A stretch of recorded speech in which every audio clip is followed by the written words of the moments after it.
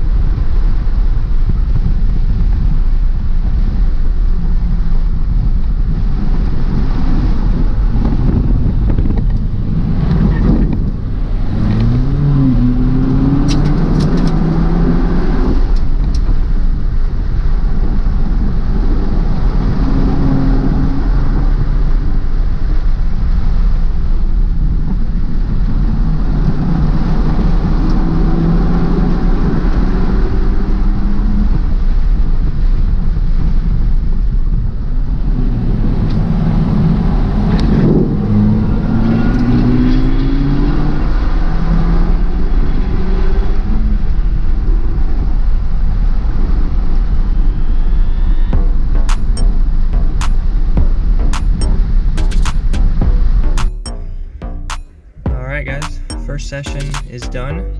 Um, wow, this is this is quite the track. Um, I was able to do a uh, 153 was my best. I forget the uh, point, the decimal point after that, but 153. I saw another uh, YouTuber that's got a Fiesta ST um, did a 147 with a upgraded turbo, and I would. I don't think I'm gonna be able to get to 147. I'm hoping. Think I could get down to the 150, 151. Um, if I can get below 150, I'd be over the moon. Not too bad on traffic. There was a lot of cars here. Uh, there was a couple laps where I was uh, caught up behind a couple people, but um, overall not bad. They did a pretty good job about uh, pointing people by and everything. Uh, we've already had a couple retirements. There's uh, Focus RS getting getting towed in right now that broke down on mid lap. Um, but so far so good. Car did really well. The brakes, well, the brakes work really well. The only issue with it is they like dive to the right. So I'm not sure what's up with that balance. I think it just has something to do with that front right rotor is kind of messed up um, from the, uh, previous grinding. Again, if you didn't watch my last video Chuckwalla where I explained the brake issues that I had at that at that track day, go watch that one. We'll, uh, we'll be off for the next like 40 minutes. We have five different run groups here. Um, 40, 50 minutes, something like that. Uh, every it's same style as the other as the other group that I went with, so track where it's every 20 minutes. So I got some downtime until then to uh, relax, see what's going on around here, and uh, get ready for my next session. See if I can beat that that time, 153.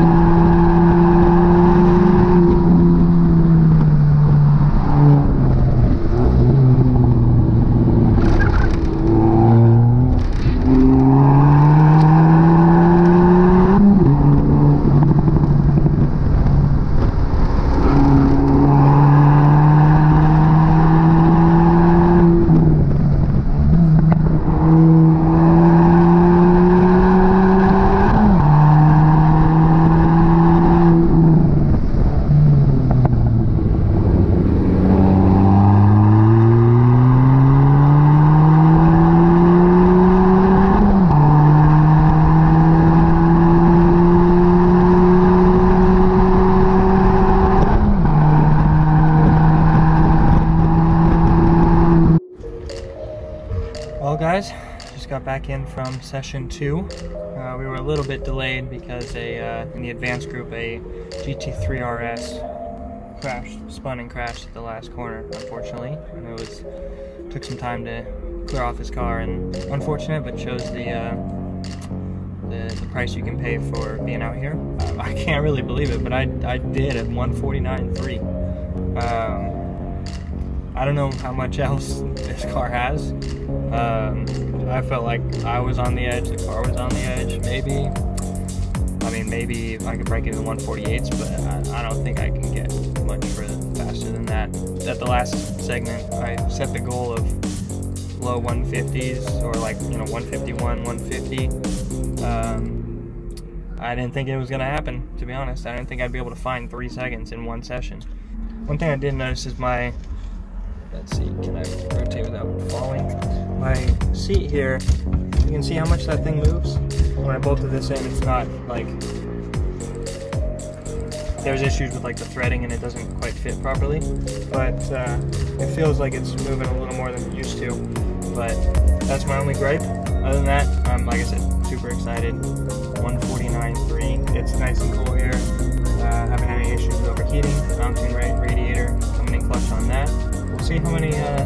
sessions I, I do, how many I push really hard, or just maybe have some fun with it. Hoping for some some safe some more safe sessions. I might go get some food now. Um, I'm pretty hungry, and it's 12 o'clock. So, uh, yeah, I'll catch up with you soon.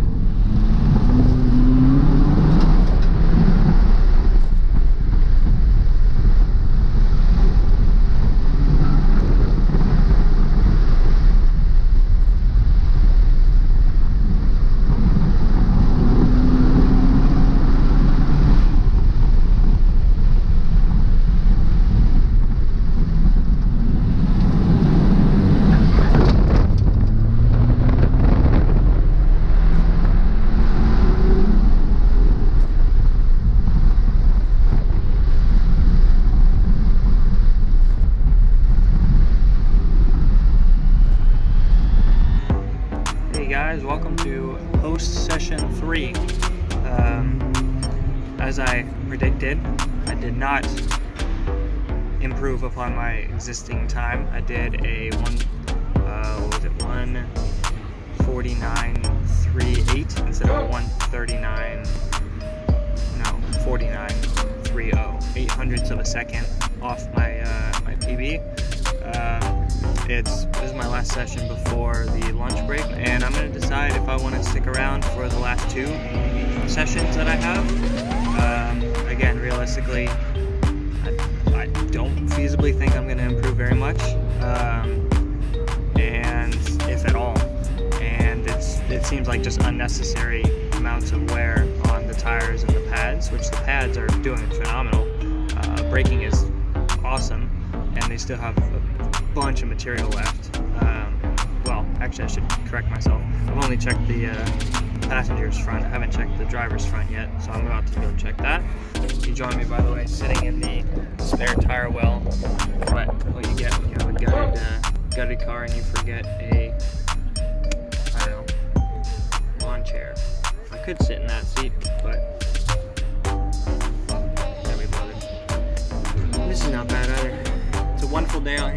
little worried today would be extremely misty for the whole day. Not really worried, but like that would affect our, you know, grip and traction and all that, and visibility. Um, so I'm glad that it's, you know, the sun came out a little bit. I was wearing sunglasses for this last run, and then the sun went away. I'll update you. You'll probably either hear from me on the road home or after next session. So we'll see. Alright guys, that is going to be it from me today for Laguna Seca um, did what I came here to do, and I'm really pleased with that. Um, I just figured it. I didn't have a particular goal in mind. I already beat the goal that I had set for myself.